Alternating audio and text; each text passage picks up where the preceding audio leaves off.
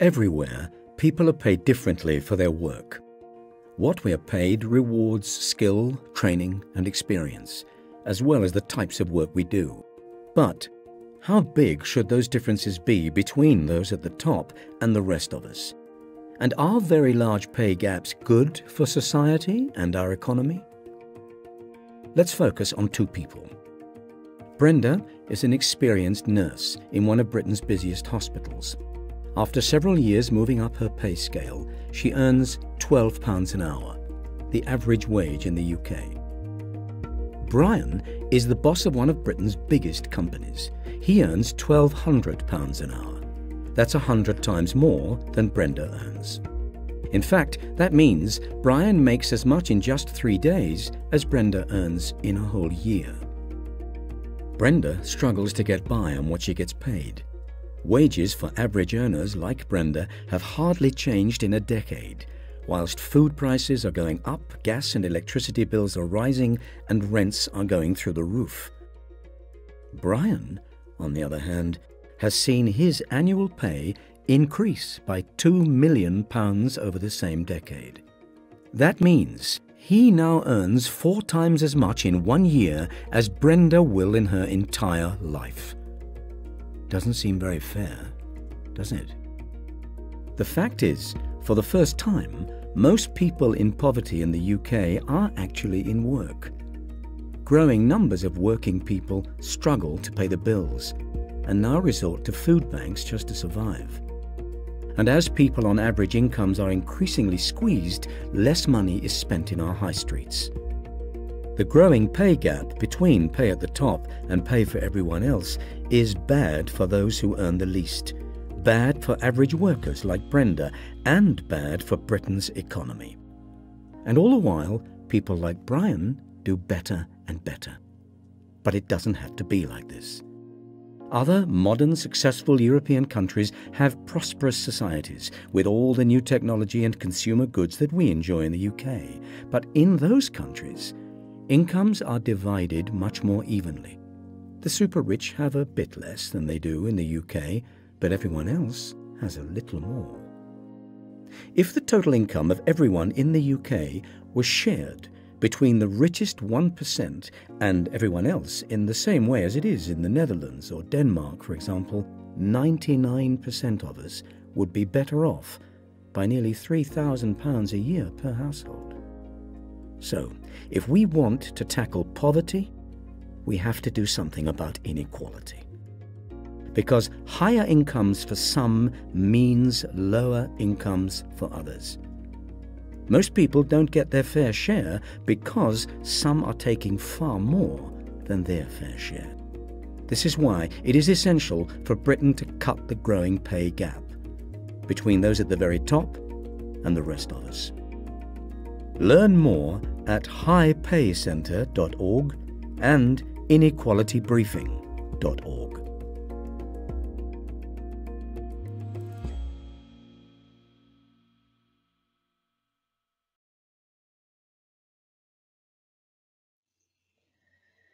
Okay, so you need your identity booklets from page 47 and we're going to have a look at the differences in ethnicity and how that feeds into identity. So one of the main considerations when we're looking at ethnicity and the role that that plays in the formation of personal or social identities for individuals is that ethnicity comes from a whole host of different places and has different traits and characteristics.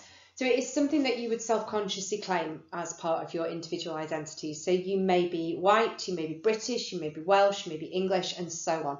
So depending on different situations and different levels and layerings of identity, um, your ethnicity comes from a whole host of different aspects and how they interact um, with various features of your life. So members of an ethnic group may well share biological traits, so things like skin colour, um, however, one of the more important things is that they share other cultural characteristics that can include religion, food, language, politics, and so on. So therefore, what is meant by ethnicity is not a biological factor, but it is an experience that people um, live through and um, consciously claim as part of who they are. So, for example, if you look at the overarching ethnicity of Asian, um, this is often identified as an ethnic group in the UK, but actually, those people who fall into the category of Asian don't necessarily share the same cultural characteristics and therefore they would not share the same ethnic identities. So research from Modood points this out quite nicely. He talks about how Asians include a multiple different nationalities. So for example, Pakistani, Bangladeshi, Indians, for example. Um, within that, um, those individuals can come from different religious groups, so Sikhs, Muslims, Hindus, and there may also be several language groups within that, um, Urdu, Bengali, and so on. And further down, there can be different cultural traditions and things like that. So ethnic identity is tied very closely to national identity, which is your sort of more um, geographical um, location, um, the country from which you come. And ethnic identity comes from a whole host of different cultural concepts and cultural artifacts and traditions that form part of who you are. And all of those are things that you would self-consciously decide to embed into your own personal identity and social identity. So we're going to have a look at a video that gives us a little bit of an overview of what we mean by national identity.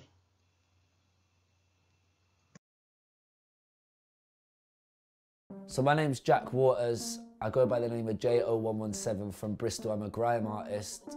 So since getting into this position of influence from social media and music, I've sort of tried looking at things that may not be talked about in modern day so much. For example, race, class, gentrification. And I've been hearing a lot of talk about white fragility, white privilege, white supremacy, and people's talking about whiteness as a whole. I've been seeing blog posts, Instagram challenges, Fiat 500 Twitter. So it's just got me a little bit curious, so I'm gonna go and find out a bit more about it.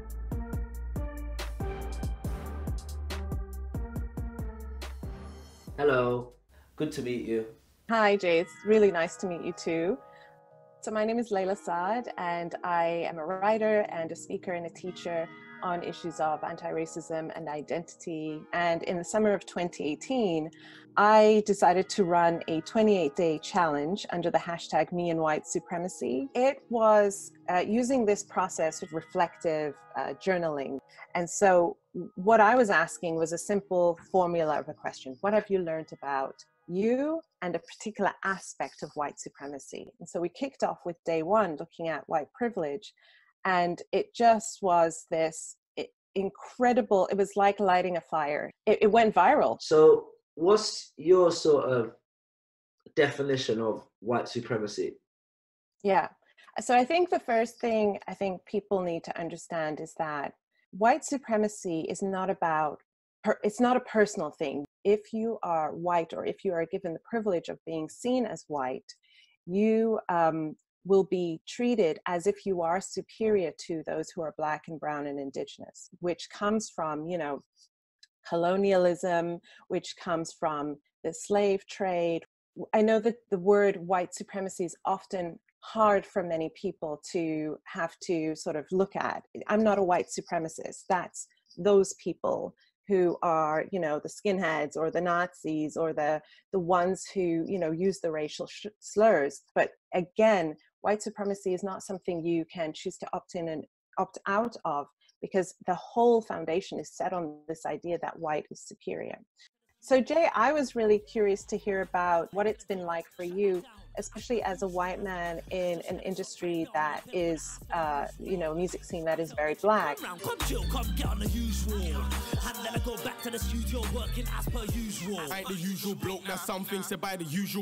Yeah, and I feel I'm aware that with grime music and it being a voice of the unheard, I sort of see it as a voice of the streets. I'm in a position now of influence. I need to be very conscious of sort of what I write about, what I what I do, what I put on social media, still pay homage and love to the history and of, of the music which I do, which I try to yeah. do as much as possible. It is an art form and it has to also relate to me and, and, and, and be a part of me. Yeah, I think that that's the gray area that I think more of us, um, especially people who hold white privilege, need to be comfortable being in. It's not about you either are racist or not racist. You either are a good person or you're a bad person.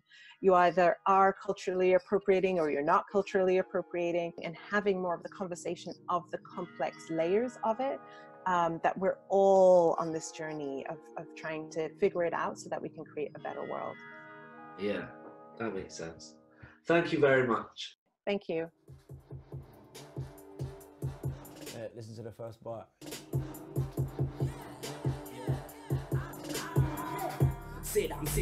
So this is my mate Ems and somebody I do music with.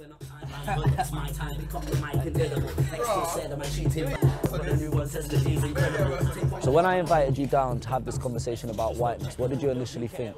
Mm, it depends on how you talk about it, to be honest because a lot of conversations are just coming to dead ends. Well, we're this color and we feel like this, and you're that color and you feel like this. Like, I would say the dangers of having the, this conversation when you will start to understand how disconnected you are and if they even want to make the connection because it will affect their lifestyle. Equality will take away from that because they have more and we have less.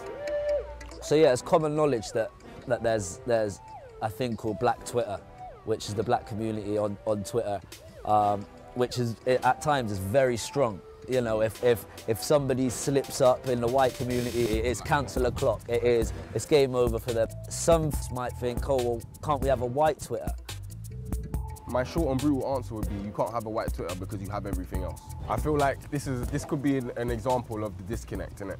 If a, a white person may go on Twitter, they'll go onto black Twitter, and then they'll see some sort of joke about a Fiat, you know, the Fiat, the whole Fiat 500 gang in it, like ditzy white girl stereotype in it, kind of thing. Like they drive a Fiat 500, watch Love Island 24/7, cheeky Nando's, cheeky Nando's, partying, partying in photos, and yeah.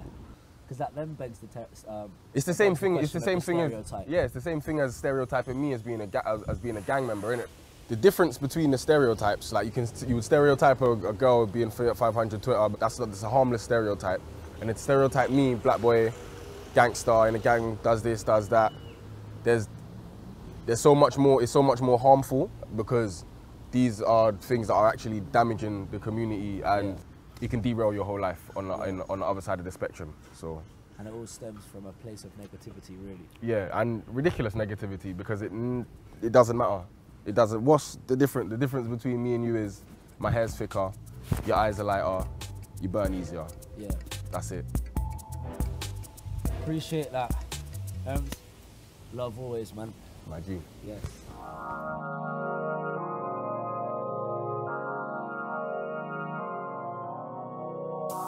I will start. I think whiteness means the norm.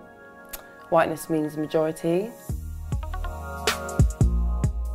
We, we get educated on white people oppressing other races and white people having slaves and going over and not doing very positive things in history. So that's why I feel like we do get told a history of whiteness, but it's not one to be proud of or mm. shout from the rooftops. Mm. That's you know? really interesting, actually, because I I always assume that history is still not really accurate, and even what we are taught is isn't what it is.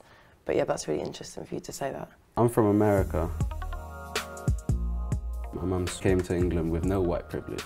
She worked as a maid at, for rent. She works nine to five, six days a week, and she's done that for the past 12 years. White privilege doesn't necessarily have to be like financial. But, but at the same time, I think that sometimes it's hard for people to take that on board and to swallow that word privilege if they are somebody that grew up with nothing. Yeah. And I think maybe there are degree. I, I don't know whether you agree. There are degrees of white privilege. I think Is it's Boris intersectional. Johnson more white privilege than I am. So it, dep- it depends on race, class. It depends on many things, but it is a lot. It's a lot. Like even for me as a black woman, of all of my life experience, and I've worked at a university developing a race equality initiative. I'm still confused and like don't even know where to start. And like with white British identity. Um, I'll answer the question. I guess a lot of white people hold on to like the empire and, you know, the royals. And I guess that's quite a big, I don't know, part of your identity or your I culture. would, I would, Some people, I, yeah. I Some think some people. people, yeah, but Yeah. me personally, Yeah. I, I, I wouldn't say that's part of my identity. but it's always yeah, and, and, and, and that's the interesting thing is that that I, I would have spent a long time talking about diversity, Mm-hmm. thinking about representation, and never but never thought about well, hang on a minute, I am actually white. What does that mean? Do you know what I mean? Yeah. it's quite weird. It really, is you very think weird. about it. Like, Yeah. and with like this whole like when you say you just never thought about being white, it's just crazy. yeah, We have to think about being our skin color every single day, yeah, for sure. just always, Well, all to the an time. extent, like you, you say, like you say it like that, but like so I lived in a cultured area. Like I used to get stick for being the only Yeah, white bet. kiddie all the, all day Mm. long. And you have these conversations with people years after a situation happened, and you say, "Why did you do that to me?" And it's like, "Because I, I wasn't Mm-hmm. informed that like I was informed wrong." And you, I can now go have a drink with these guys. Like it's like it's a very weird topic. Mm-hmm. It is. Well, I don't, I don't know. I mean, I know we're having the conversation about whiteness, but I don't really know what the outcome of. Obviously, it, it allows us to say, "Oh, well, I'm, I agree," and or, or that. I, I suppose an, an awareness of white privilege, the system, institutions in which we operate, and then maybe not falling for some of the manipulative messages which come from far right groups. I can't be bothered to kind of always talk about, you know, oh, this happened today, someone touched my hair, because it's just what happens. But maybe one day we won't have to deal with it. Someone will come, step in and say, hold on a minute, that's not right. I feel, me personally, I probably subconsciously sort of just Uh, try and Yeah, yeah, same, try and same. like See, that's, Get- that can turn to that whole I'm, I'm not proud to be white to just, I, I, I don't even talk about it. Like, and that, that kind of, oh, you know, I, I, I'm not racist. I, I, don't- that, that's not helpful. So yeah, So it's not about being it's not about being right on, is it? Being No, right, being absolutely real, not. real Yeah. it and owning it, I think. just the- listening or trying to understand or yeah. yeah. I think we got into it, didn't we?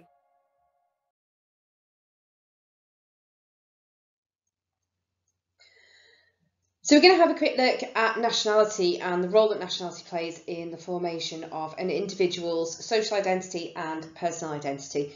So you've got evidence there from Anderson who talks about nation states as an imagined community and this is really important when we're looking at nationality um, because ultimately national identity and nationality can be considered to be socially constructed. So it's a creation from the media through education um, through the use of cultural artefacts and symbols such as flags, national anthems, sporting events like the World Cup, the Euros, the um, Olympics, and highlighting significant national people as if they are sort of part and parcel of this imagined community. So our monarchy, for example, Shakespeare, one of the greatest English writers, Charles Dickens, things like that, by putting these um, on a pedestal as if they're sort of symbolic of what it is to be English or British and so on.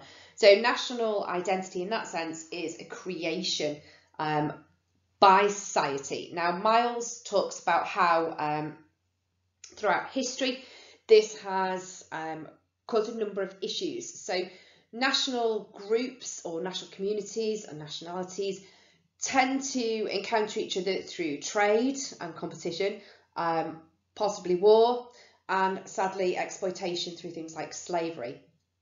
And one of the things that is evident from that is that we hold a distinction between ourself and the other people. So one of the issues with national identity is that when you go through that process of um, social identity construction, so if you think back to Tajfel and Turner and the ideas of social identity, that once you are categorised as being of a particular nationality, so say you are English or you are British, um, you then take on board and identify with that identity. So you begin to adopt those nationalistic symbols such as the flags, you know the national anthem, you support England by default in um, a football match. Um, and you're experienced and exposed to media, education, uh, religion, and so on.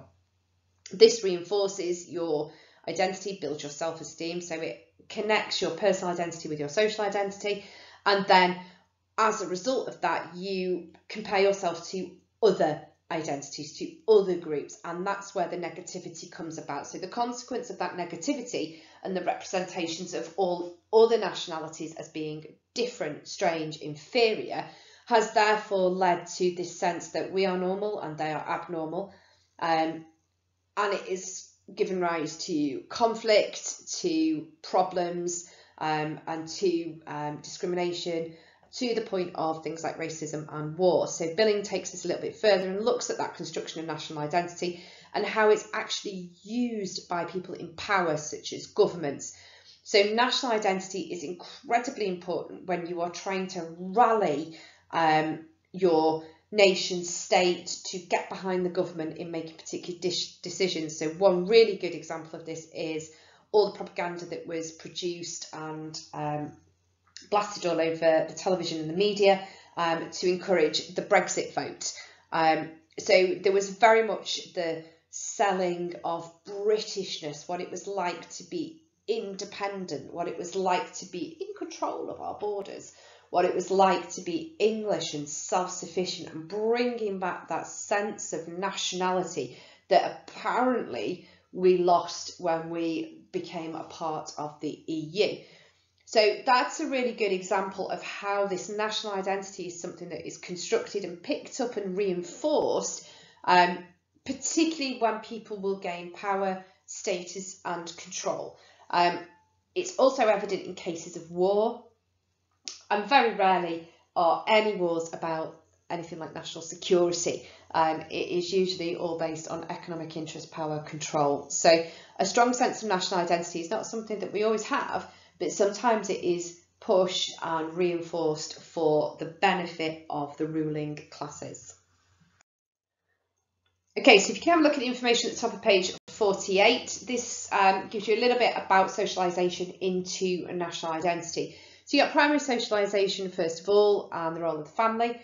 You've then got your main agents of secondary socialisation, so education, peer groups and media and how that reinforces our nationalistic identities and encourages people to categorise themselves as a particular nationality and therefore begin to identify with that nationality and as such um, compare themselves to other nationalities. So pause the video, um, read through that information and then restart the video when you're done. So national identities are kind of underpinning ideas behind ethnic, ethnic identities, um, but there are obviously a wider range of different features and cultural aspects to ethnic identity. So when we look at primary socialisation into ethnic identity, which is the bottom of page 48, um, you've got some key bits of research. So as I go through it, you do need to read the little bits of more detail that are there in your booklets. Um, but you've basically got Elliott, who talks about how South Asian communities have adapted to a British environment and have kind of developed this cultural hybridity of their own cultural logic. So it is traditional Asian um, ethnic identity that is hybrid within British culture and British systems. So you've got that sort of merging of um, traditions, beliefs, values, and so on. You've got Anwar, who talks about how Asian families do still socialise their children into um, the traditionalist patterns of obligation, loyalty and religious commitment. Um, and in most cases, children do accept that primary socialisation, they take that on board as part of their own individual identities. This is reinforced by Butler's study, who looked at teenage Muslim girls in the East Midlands, and he looked at how their religious beliefs um, socialised through the family were taken on board. It was important to them and it is very much part of their individual identities, but equally they've adapted it slightly to fit into changing circumstances geographically um, and nationalistically living in East Midlands in the UK. Ghuman also looked at tradition, religion and family values and how they play an important part in the upbringing, particularly of second generation Asians in the UK. So it's maintaining that ethnic identity for the purpose of tradition, of history, of that rich cultural background that individuals come from, but also making sure that that is within um, UK culture. So again, hybridity is coming into play and that intersectionality of lots of different aspects of ethnicity becoming part of an individual's personal identity. So turning over onto page 49, we're looking at secondary socialisation through education. And again, we go back to Bourdieu, who talks about um, the dominant culture and how the dominant culture tends to penetrate in educational institutions um, within each nation that that educational institution is in. So he's looking at, in this case at the UK. Um, that dominant culture is reproduced in the minds, values and activities um, in wider society. So children from ethnic backgrounds may be at a disadvantage in the British education system. Um, particularly if you think about, you know, you guys have been through high school, so if you think about how you were taught British values throughout PSHE and citizenship, it is explicitly named as British values. Um, that is not culturally specific to all cultures that, you know, reside within Britain and within the UK. It is very much dominated by, you know, your white middle class um, Britishness, that historical monarchy, queen, justice, law, and so on.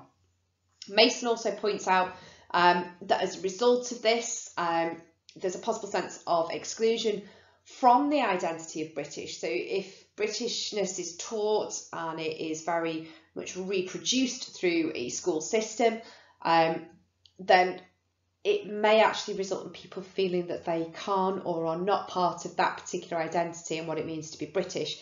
So family becomes um, refuge from the problems of the wider community. So more emphasis then becomes placed on primary socialisation. Coard also looks at how the content of education completely ignores or generally ignores black individuals. So Coard um, talks about how this leads to low self-esteem amongst black pupils. They don't feel that they are part of um, the school community. Um, this can lead, again, when we look at subcultures, you can look at anti-school subcultures um, and how, you know, black, black pupils in particular do feel that the national curriculum um, is ethnocentric. So, and it has been criticised as ethnocentric as well as androcentric because it tends to focus on men, because actually the national curriculum emphasises a very stereotypical white middle class culture at the expense of all other cultures. Very rarely through the national curriculum and normal day-to-day teaching do you cover aspects of black um, history, Asian history, traditions, the cultural features and aspects of all the different types of individuals that actually exist on the planet and within this country. Um, so much so that in actual fact um, across the UK and I think in America as well, um, but definitely in the UK, we have what we call Black History Month. Um, so the task that I want you to have a quick look at, should take a couple of minutes, um, is to find out what Black History Month actually is. You may well have done Black History Month um, throughout one of um, or two of your years in high school, but actually I want you to pick this apart as a concept, right? I want you to think about why on earth we have this in the UK. So why is it necessary to actually distinguish black history from white history? Right? Why is it that we teach this as if it is somehow something completely different to all of the history that we need to know about? Um, why is it that it is singled out and it is presented as other people's history? And this goes back to that idea of social identity theory, right? you this, this is taught as if it is somehow I don't know, different and, and, and not part of, of our history as white um, British middle class individuals, but it's something that you, you know, you should know about, but it's not really important enough to embed in our national curriculum. So I want you to have a look at that. I want you to find out what people's opinions are about having this sort of distinguished Black History Month. Um, and I want you to of form an opinion. Do you think it should remain as it stands? Do you think the curriculum should basically just teach more history on an equal level? Should it teach equally about all histories? And that's not just Black history, but Asian history, Chinese history, Japanese history, Australian history. Do we need to understand global history as opposed to learning, you know, the dates that various monarchs came to power and, you know, how many of Henry VIII's wives were headed and all the rest of that nonsense. So how do you think it should be approached? So You can buddy up with the person next to you and have a chat about that. Um, make a note in the box on page 49. It should only take you a few minutes and once you're done, restart the lesson. Okay, so other um, secondary agents of socialisation include the media. So again, you've got research here from Gillespie, and he studied um, Sikhs who lived in Southall. Um, she, sorry, shows how um, videos, so the Indian film industry of Bollywood, um, were enormously popular in that particular community. So that sort of use of the media had very important secondary socialisation functions. Um, it creates that connection between specific Asian, Asian communities and the rest of the world. Um, it allows younger children um, to access Asian culture and language and reinforce that sense of Asian identity and sort of reduce and limit that sort of um, sense of feeling marginalised or excluded from um, wider film and movie culture. You've also got peer groups. Um, we'll look at this a little bit more when we look at youth subcultures, in particular youth subcultures that have risen out of ethnic identities. Um, but you've got young Afro-Caribbean um, individuals who often adopt identities that are based on shared identities with their peer groups that quite often comes through youth subcultural activities, particularly music, hip hop, um, grime, rap, all those different um, types of music that draw people together within that culture. Um, the shared experience of racism, unfortunately, and the sense of powerlessness also um, feeds into a black identity. Um, often in a kind of negative manner, um, understandably, in the sense that you know the experiences of racism and feeling powerless and feeling unequal um, ultimately come through in those identities, those ethnic identities of um, particularly black young Afro-Caribbean males who are quite angry at exclusion and mistreatment across um, the UK in particular. Okay, so last bit of this lesson, we're going to work through the information on page 50 um, and 51, where we're going to have a look at the cultural characteristics of minority ethnic groups. So you've got research there from Wirth, who actually gives you a definition of minority group. So that's any group of people who, because of physical or cultural characteristics, um, are singled out from others within a society that they live in. And that singling out results in differential and unequal treatment, hence the term minority. Um, so the term minority connotes dis connotates discrimination. Um, the two tend to go hand in hand. There are very there are none that I can think of. There are no minority ethnic groups in particular who have power or dominance or equality in the um, country in which they are the minority individual. So in sociological terms, um, minority group and subordinate group are used interchangeably um, and dominant group or majority group are used interchangeably, right? So those kinds of definitions correlate with the concept that dominant groups hold the most power, the most control, and subordinate groups are the ones that lack power um, and control in comparison to the dominant group. This will feed into your understanding of social inequality when we get to that topic, so it's worth making sure that you understand minority subordination and majority dominance. Um, minority is not necessarily about being a numerical minority group. Um, so, for example, a larger group can also be considered a minority group due to a lack of power. Um, this is quite evident in um, gender. Um, you know, the population demographic for men and women, I don't actually know what the current percentage split is, but it's at least equal. Um, and women are a minority group. You can also see um, that being the case in the apartheid system in South Africa, in which case the numerical minority were the black inhabitants of the country who were exploited, oppressed, and dominated by the white minority who moved in there. So it's not all about numbers, right? It's about power, control, and status, minority subordination, and majority dominance.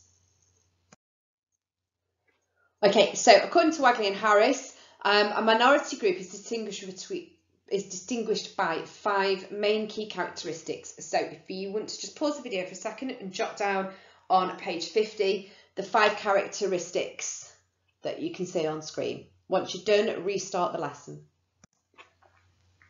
Okay, so point one is unequal treatment and less power over their own lives. Number two, distinguishing physical or cultural traits like skin colour, language, religion and so on. Number three, involuntary membership in the group. So it might not be a group that you specifically identified with out of choice. It may be something that you are categorised in by default. Um, number four, awareness of subordination. So as a minority group, you would feel that oppression, that lack of power, the inequality that is sort of coming down on you from the dominant majority. Um, and you would have a high rate of in-group marriages. So um, very few um, sort of mixed um, ethnic marriages. Um, this also applies to things like uh, social class. So, you know, middle to working class marriages, not really um, a consideration, but actually the upper class elite very rarely um, marry out of status. Um, so you can see that in a number of different minority groups. Additional examples of minority groups, because it's not just about ethnicity, include the LGBT community, um, religious practitioners whose faith is not widely practiced in the area where they live, so Muslims, Sikhs, Hindus in the UK, for example, as it's traditionally a Christian country, people with disabilities, um, to a certain extent, women, um, and to a certain extent, young people, because they tend to have um, very little power in society, although as a minority group they can actually mature out of that situation. So that's a slightly different um, context. Minority groups tend to be groups where you can't actually find a way out of it, so to speak. One of the main theories around um, the cultural characteristics of minority ethnic groups and how that actually influences somebody's identity is Dollard's um, theory. So his frustration aggression theory suggested that the dominant group will quite often displace unfocused aggression onto a subordinate group and it's known as scapegoat theory. Um, it's about making somebody a scapegoat um, for frustrations. Throughout history, there are many, many, many examples of the process of scapegoating or the frustration aggression theory of how a dominant group has um, transferred anger or frustration or aggression onto a subordinate group who actually were not the cause of that frustration or aggression or did not actually deserve it. So um, an example from um, history that we are all aware of is Hitler and his ability to blame the Jewish population for Germany's social and economic problems.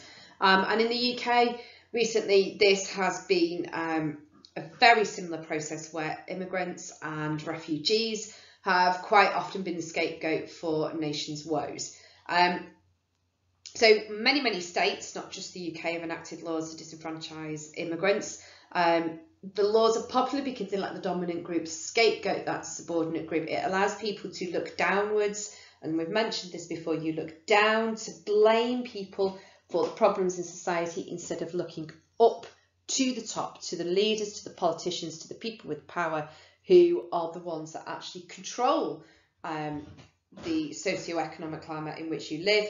Um, no refugee on a dinghy coming over from France has control and power over the economic state of this country. But if you read the Daily Express and the Daily Mail, you would think that they are the people that cause every single problem that is going on in the world around us. So we're going to go back to the newspaper article that you researched about immigration and refugees.